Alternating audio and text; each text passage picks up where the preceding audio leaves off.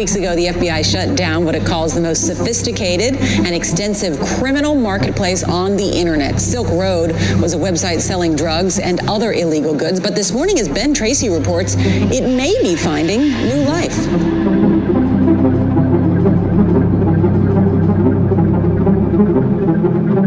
This reminds me, and you mentioned Silk Road. When that went down, uh, we thought that was going to have a big impact. But this is an economy uh, that sort of moves on, right? And, and two other, three other sites pop up.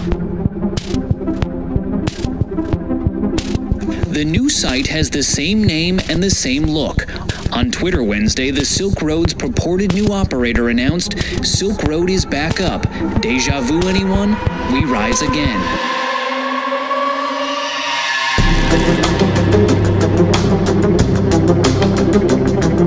FBI agents swarmed a San Francisco home and arrested a man who calls himself DEFCON. Hey, uh, this next story is one that's caught the world's attention. A Canadian man who died while in custody in a Thai prison is now accused of being an online kingpin, one who built a fortune as the mastermind of the world's largest illegal online marketplace called AlphaBay.